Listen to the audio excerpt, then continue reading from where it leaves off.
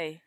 Hi, this is Mel from Meltone Fitness and it's 5.15 in the morning. I'm at the bottom of the Mystic Launch Walk. Whoo! Daylight saving, so it's actually quite dark and to my side here I have the secret squirrel. Hello. so stay tuned and check out Secret Squirrel's little video on the way up too.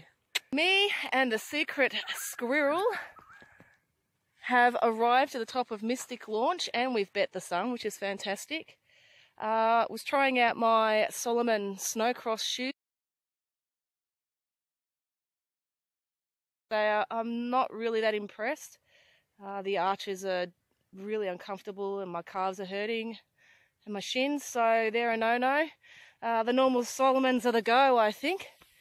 Anyway, we're just having a little break and then we're going to start jogging down. Hopefully the sun will come up on the way down and I'll get some footage. Okay, so we're jogging down the road. Uh, I'll give you a bit of a view. This is a bit of a steep hill we're doing. I don't sound very puffy at the moment, do I? I'm just chilling this time, just chilling.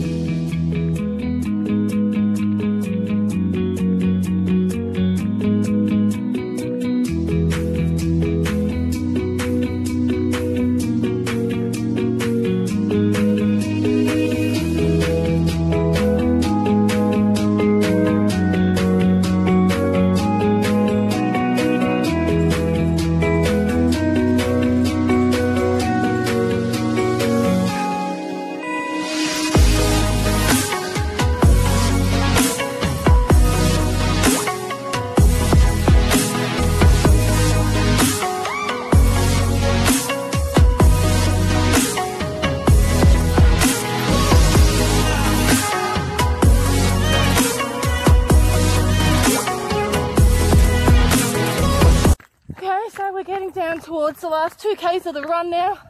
This is like my favourite corner. It's got the best view from this height anyway. Uh, I'll end up uh, turning this camera off now. I'm just taking these last two Ks nicely. And I'll talk to you at the bottom. At a nice easy pace, that was just perfect. So I'd say give yourself two hours um, if you want to do a more enjoyable walk without putting too much pressure on the cardio. So that's it for me today and the secret squirrel. And I will perhaps record another one another time going up. Okay, cheers all. Bye.